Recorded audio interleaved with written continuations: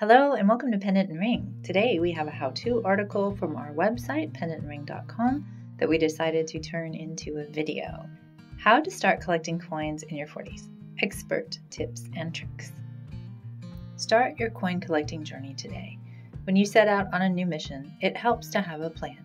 Join us today and learn how to get what you want from your new hobby, the Hobby of Kings. So, the first thing you need to do is decide on your direction. What do you want out of your coin collection? What country, countries, regions, or eras interest you the most? Is this a fun hobby? Is this an investment hobby? Where do you want this hobby to go? What does it look like in five years? When you know what you want, you're more likely to get it. Henry David Thoreau has a great quote about this knowing where you're going and getting there. He said, I learned this at least by my experiment that if one advances confidently in the direction of his dreams and endeavors to live the life which he has imagined, he will meet with a success unexpected in common hours. And that's the way this is too. That's the way a lot of things are in life. If you know what you want and you go after what you want, then you will reach with success. The next thing you need is a system of organization. A coin collection has a place for everything and everything in its place. Without a system of organization, you will find yourself in coin accumulator territory. Coin accumulation is fun, but only a part of coin collecting. Develop a plan at the start of your coin collecting journey to stop the coin hoarding dragon that hides in junk drawers and closets across the universe from taking over. Here are two pendant and ring articles about coin collection organization and a coin collection consultation appointment link with pendant and ring for help with any of the steps in this article, as well as valuation, simplification, and maximizing the financial returns of your current coin collection. Um, you'll find them all down below in the description and uh, on the website too. The third important step to beginning coin collecting in your 40s is to make a budget. To enjoy the hobby of kings, you must mind your coffers. Some coins are highly sought after treasures with price tags to match. If you want to get the best coins, financial planning is in order. Make a budget so you control the hobby and the hobby does not control you. A hobby budget can be as simple as naming a dedicated dollar amount you get to invest each month. Schedule a regular and predetermined investment amount to steadily grow your collection, like growing a garden. It's like watering the plants. You want to give them enough water to for them to survive, but you don't want to get so much water that you kill a plant or so many coins all at once that it hurts your systems of organization because that takes time too. Although buying the coins, getting the coins, that's the fun part, the most fun part. The other pieces are what separate the collectors from the accumulators, the collectors from the hoarders. So definitely maintain your system of organization, set yourself a budget, stick with it, grow slow and steady because that's how you win the race. You do not need to set aside large sums of money to get started.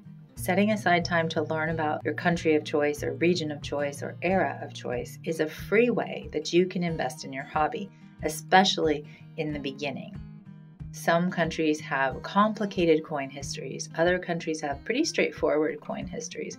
And the more you learn about your country or region of interest, the more you will learn about what you're looking for in coin markets. Once you have a substantial collection, your hobby can subsidize your budget as you replace low grade coins with high grade coins. The sale of low grade coins produces money to pay for coin collection insurance and upgraded storage and display options and even better coins. Another really important thing to do when you start coin collecting, or really when you start any hobby, is to find your why. It's easier to do the more tedious tasks like inventory and valuation updating when you know why you're collecting coins. Find your why, and it will be easier to maintain momentum when saving and searching for the elusive coins, the unicorns of your collection. Do you want a beautiful display wall of framed coins with stories and certificates of authenticity? Do you want to add to your investment portfolio or to make more money? Do you want to stash some cash in the form of silver just in case? Do you want to make coin collector friends? Do you want to connect with your children or nibblings? Nibblings, by the way, are nieces and nephews. It's the all encompassing term for both nieces and nephews, which I think is super cool. I love the way that language is changing, you know? And it's neat. You can see that on coins too. Like everything used to be Latin abbreviations. And now we've got coins in every language.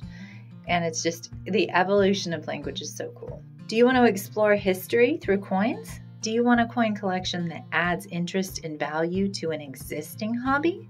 If you have a hobby like, let's say, um, you really enjoy collecting fountain pens, well, you can use that fountain pen hobby to get started in coins by exploring the crossover of fine manufacture fountain pens, the locations that they are made, and the coins that are produced in the same area right? Or the history of fountain pens. You know, at some point there was the first modern nib, and it was made at a specific time in a specific place. Well, at the same time, they were minting coins at a specific time and a specific place. And that can kind of guide your interests when you start coin collecting. Last, but definitely not least, the most important thing on the list for this hobby, or for any hobby really, is to follow your heart. Are you ready to start your coin collecting adventure? One of the best things about coin collecting is that you craft your journey. There is no such thing as too old, too cheap, or too expensive. Anything is possible with enough time. This hobby can be whatever you want it to be. Starting in your 40s is a great way to skip the directionless, ooh, shiny influence of the decades between 10 and 30 years old. At this stage of the game, you know yourself and you know what you want. It's time to get it. Thanks for joining us today. Make sure to like, subscribe, and click the bell. Find your next treasures at Pendant and Ring Collectible Coins on Etsy or Honored Allies Coins and Coin Jewelry on eBay, both linked in the description with the other links previously mentioned. Subscribe to the website pendantring.com to get articles like this one in your email and to explore the other articles we have we have an archive. We started writing articles steadily years ago there is really an encyclopedia of articles over there all about coins and coin jewelry and fashion trends and how these things intersect. So go check it out. Check out this video too. You can just click it. There it is.